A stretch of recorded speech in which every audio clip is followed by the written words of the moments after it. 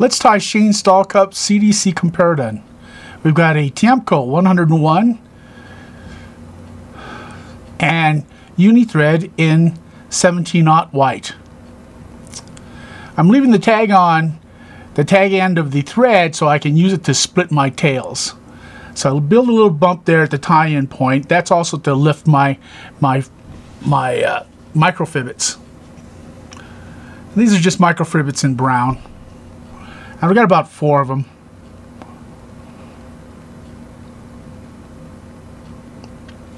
My fat fingers, I always have a hard time uh, picking these babies out, so give me a moment.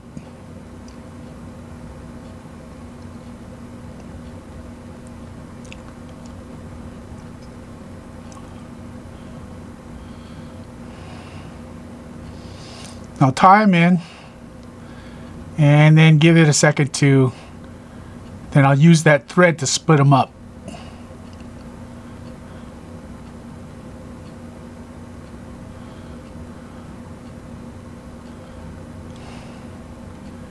And what I like to do is get up towards more towards the eye of the hook because the tails then are less likely to, to move. They'll stay straight back and more likely also to stay split.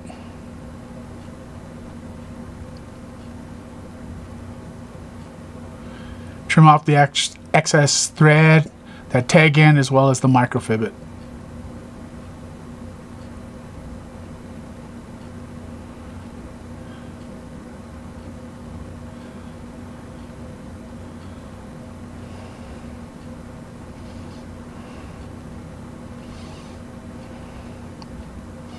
bring the thread up into the thorax area. And then back into the tie-in point. Now I've got a goose biot in olive and I'm, the notch is going to face towards the back so that I get a smooth body.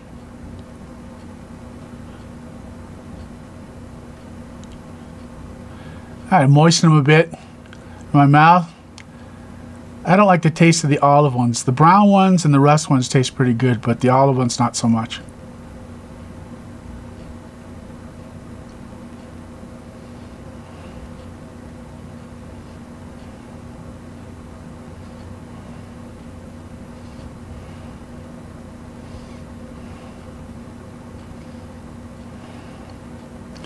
Now I don't have to taper the body so much because the bulk of that biot actually gives me a nice taper after I wrap it on.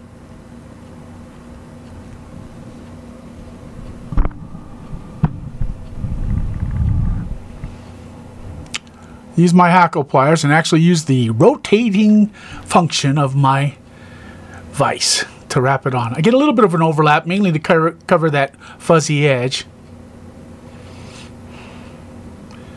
But I use the tension of the of the hackle pliers.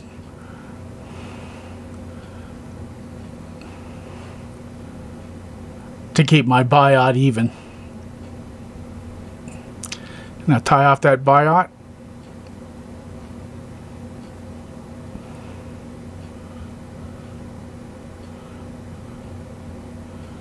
And trim.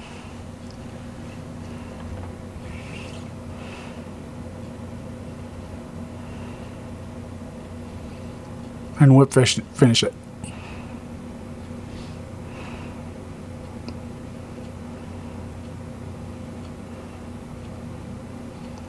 Now I've got some partridge. I'm going to take one of partridge feather and cut a V in it. And that's going to help me spread it out a bit. And it actually acts as a, I would cover a, an overwing with the CDC as an underwing.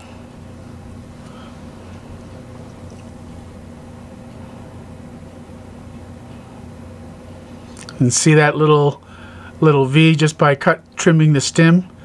I'll show that in a, so show that to you in a second. See that V that's created?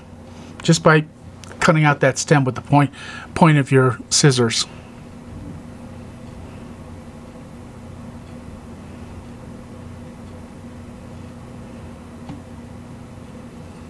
What I like to do is tie it in and then pull on it to adjust its length. Now I want it to go, oh, out over the eye about a length of the shank.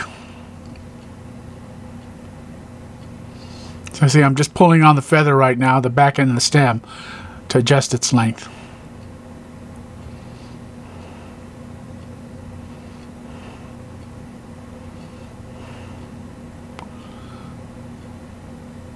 I'm going to whip finish it, trim off the excess stem from the partridge. Now I've got a bundle of two CDC feathers in a, captured in a Petit clip. I'm trimming off the stems right now. I'll transfer it to another Petit clip so I have the butt end sitting in the clip itself.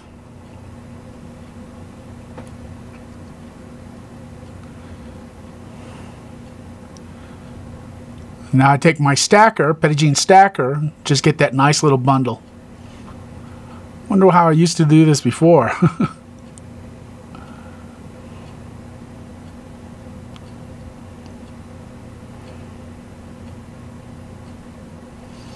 We tie it in by the butts, and I want it to be even up, but I'm going to let it go over, so I want the bulk of the CDC to be evened up with the partridge.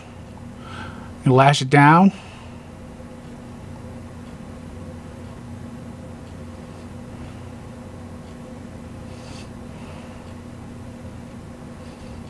Trim off that extra CDC, the butt end sections.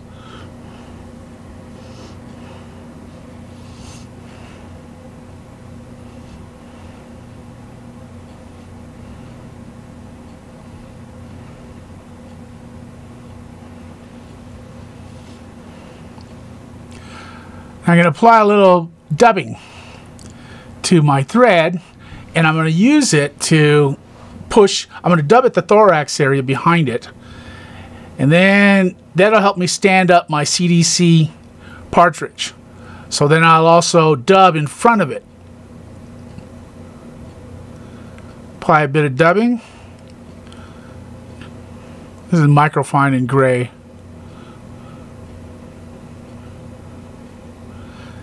Always remember, you twist your thread, your dubbing on, moving in the same direction. I'll pull it back with everything else. And then I'm going to use that to prop it up. The partridge as well as the CDC. See a little bit of a prop, but I got to add I need to add a little bit more dubbing.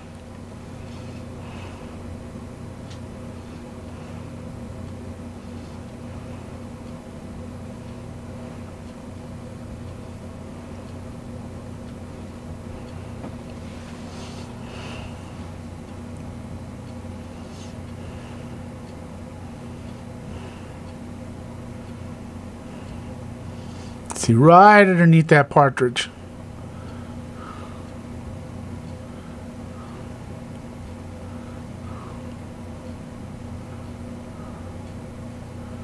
See, I get that little lift. Let me come forward just a little bit, but I'll make that adjustment later. Tie it off, and basically the fly's done. So from now on, all I'm trying to do is be picky and make it a little more pretty. I will, though, after I trim this thread, I will even up the tips of the CDC with the partridge. And all I do is pull up, or in this way, pull sideways, and then know where my partridge is, and then take my scissors and trim that CDC.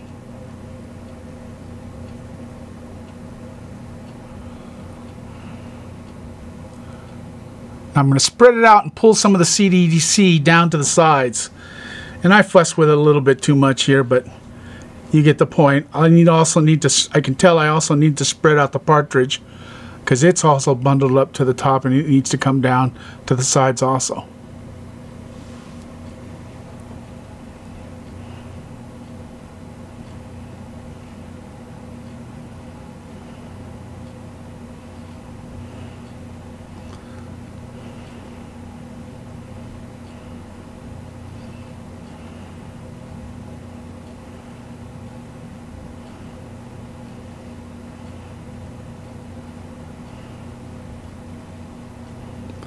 As much as I fuss with it, you can tell I didn't pull out any of the feathers.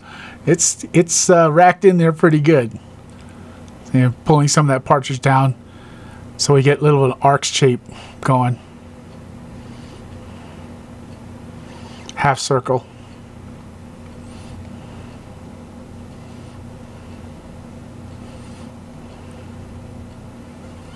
I like the way this fly sits in the water. And I like those little extra wisps of CDC dragging along too. Those look like legs. If you look at it from underneath, that fly looks pretty good. This is uh, my version of Shane Stalcup CDC Comparadun.